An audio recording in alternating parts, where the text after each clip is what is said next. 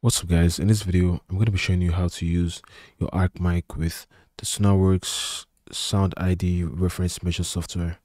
So basically if you have this software and you have the Arc mic and you have an audio interface, you can use this instead of getting the Sound ID mic, you can use the Arc mic that comes with your iLoud MTMs.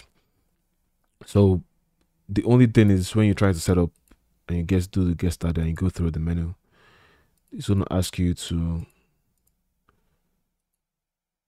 to choose your mic.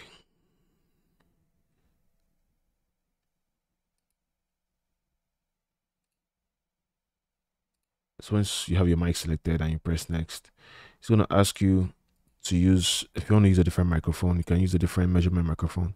But if you're gonna do this, you're gonna have to pick a calibration mic profile. So if you don't have a calibration mic profile, you can always reach out to your mic company or your mic manufacturer to give you a calibration profile.